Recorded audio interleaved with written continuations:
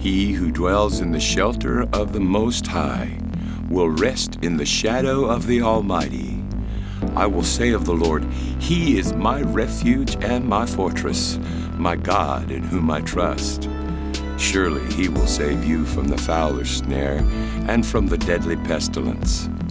He will cover you with His feathers, and under His wings you will find refuge. His faithfulness will be your shield and rampart. You will not fear the terror of night, nor the arrow that flies by day, nor the pestilence that stalks in the darkness, or nor the plague that destroys at midday. A thousand may fall at your side, ten thousand at your right hand, but it will not come near you. You will only observe with your eyes and see the punishment of the wicked.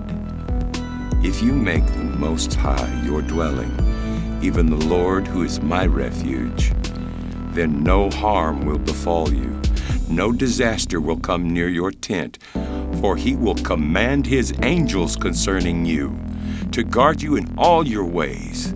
They will lift you up in their hands so that you will not strike your foot against a stone. You will tread upon the lion and the cobra. You will trample the great lion and the serpent.